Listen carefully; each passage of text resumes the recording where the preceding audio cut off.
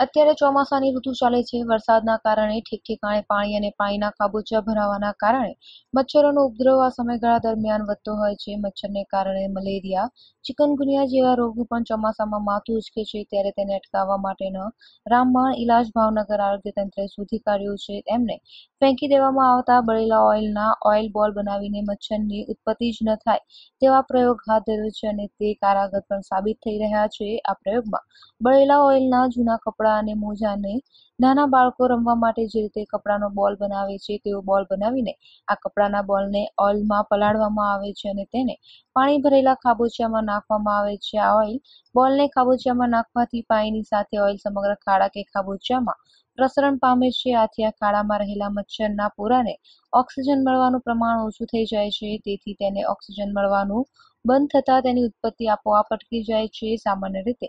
આવા પાણી ભરાયેલા ખાબોચિયામાં એક મચ્છર સો થી એકસો પચાસ ઈંડા મૂકે છે. આવા પાણીવાળા ખાબોચિયા તેને માટે માફકસરનું વાતાવરણ પૂરું પાડે છે, જેથી મચ્છરની વસ્તી કૂદકીને ભૂસકે વધે છે.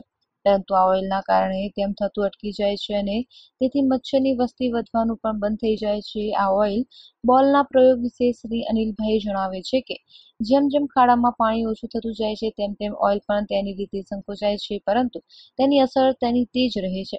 જ્યારે ખાડામાં પાણી સુકાઈ જાય છે ત્યારે ઓઇલ બોલ ત્યાંનો ત્યાં પડ્યો રહે છે અને ફરીથી જ્યારે વરસાદ પડે અને પાણી ભરાય ત્યારે ફરીથી ઓઇલ બોલમાંથી ઓઇલ પ્રસરણ પામે છે અને ફરીથી સમગ્ર ખાડામાં ફેલાઈને પોરાને વિકસિત થતા રોકે છે. આ રીતે નકામા ઓઇલ દ્વારા મચ્છરોનો ઉપદ્રવ રોકી શકાય છે. આ માટે સિહોર તાલુકાના ગામોમાંથી આશા બહેનો દ્વારા બળેલું ઓઇલ ઉઘરાવવામાં આવે છે અને આ રીતે ઓઇલ બોઇલ બનાવીને વિવિધ જગ્યાએ ભરેલા ખાબોચિયામાં નાખવામાં આવે છે. આ કામગીરી માટે જિલ્લા આરોગ્ય અધિકારી શ્રી ડોક્ટર ચંદ્રમણી કુમાર જિલ્લા મલેરિયા અધિકારી Shri doctor BP Boriya RSH O Shri doctor Kokilaben Solanki taluka health officer Shri doctor Chandrakantbhai કણઝરિયાના સહકારથી ઓઇલ બોલથી મચ્છર અટકાવવાની કામગીરી સિહોર તાલુકામાં પ્રાથમિક ધોરણે કરવામાં આવી રહી છે. ત્યારબાદ જેમ જેમ લોક સહયોગ મળે તેમ તેમ તેને વિસ્તારવામાં આવશે.